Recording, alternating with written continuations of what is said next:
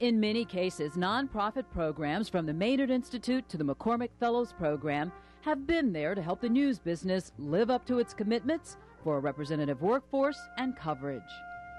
There has been a lot of progress in a lot of areas, and one of those is media. I think that uh, media has become uh, less segregated. You know, some there are, there are scores now of successful African American uh, journalists and people of color who have influenced media.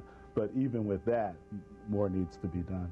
All the progress we've made, and I think we've made substantial progress in 40 years, we're a long way uh, from a colorblind society. I know that, that newsrooms get a lot of flack for not having moved the needle, you know, these low these many years. But if you walk into a Metro newsroom today, and if you could walk into a Metro newsroom of 1968 or 1969, I think you would find a tremendous difference, not just in the way it looks, but in how the editors and reporters think. There was, a great scrambling to achieve many of these uh, laudable goals uh, in pursuit of diversity for a long time, you know, the 70s and the 80s. And then it reached its zenith, and suddenly it's, it's all changing, I think. There have been many marked improvements for people of color in the newsroom. You, we have to acknowledge that we now have editors, publishers, news directors, anchors, all wonderful developments for people of color. And that's a wonderful positive thing to see. The whole issue of diversity, the tone seems to have changed. While it were, was a main mantra, I'd say, in the 80s, late 80s, and early 90s, it's rarely discussed in a lot of newsrooms today. It is rarely discussed.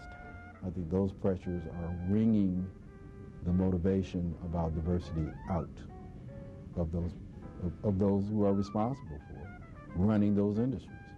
I think standing up and making speeches or promoting diversity after a while is people don't want to hear it. They want to make money. In most major newsrooms, I'm a, a rarity. There are very few African American managing editors and editors in news. I'm kind of on one hand, actually. We all know each other.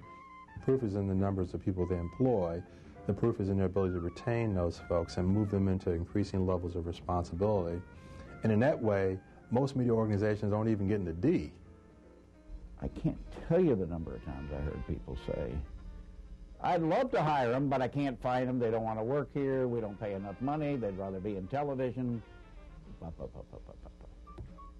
Well, I say bullshit. Uh, and it is bullshit. News organizations and America have witnessed a lot of changes over 40 years, but challenges remain. Could it be that those who refuse to learn the lessons from the past are doomed to repeat it? Basically, I'm an optimist, but I do worry sometimes that because we didn't we didn't listen to ourselves when we knew that there was a problem, not only in terms of, uh, of staffing, but in pro- providing coverage, that we've basically sort of written our fate. I think the struggles that were back in the newsrooms in 68 are pretty much essentially the same as they are now.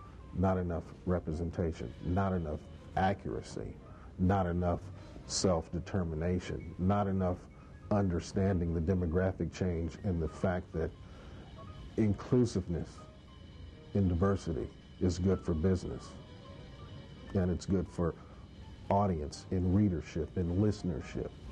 I also have a sense that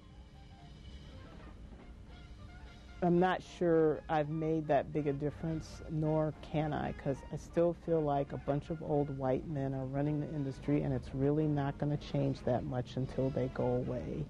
And I don't think they're going away, to be quite honest and candid. You know, we don't own the companies, but we certainly uh, work in them and can have an influence in them. And I think that we have to, we have to keep the fight going. I, I see a lot more Native publications. I see a lot more Native radio stations, websites, newsletters that report on you know the true story. Because what we hear is not because I don't think apathy anymore, is that I don't understand Native issues. There are a lot of wonderful, good people who are not people of color who are out there fighting the fight as tough as we are, as hard as we are. By that same token, for everyone that's out there fighting the fight, who really gets it, who's trying to make diversity happen, who tries to run a fair and balanced newsroom, there's one out there who does not get it. 40 years later, we're still, we still dance around the topic of racial issues. Um, we're not doing the in-depth kind of coverage. If we give up hope, then there's no reason for me to be in the business. I think there's still suspicion um, in our community uh, with regards to the media. Um, and uh, all too often, um, the, the depiction or the stereotypes still show up on the um, evening news. A realization that you no longer live in a mostly white America. And a realize, realization that nobody's going to buy the newspaper if they can't use it.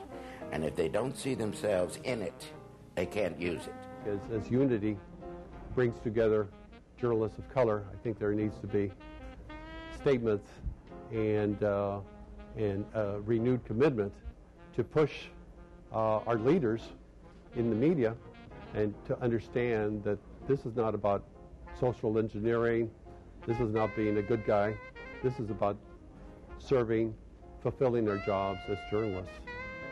What we want to do uh, on this anniversary of the Kerner Commission 40 years later is to help people see that uh, the, the, intertwined problems of race and poverty are still with us. Uh, and uh, to get around this myth that grew up during the Reagan administration that everything we tried failed. The truth is that everything we tried, virtually everything worked. Uh, we just stopped trying it. Uh, or uh, we stopped trying it hard enough.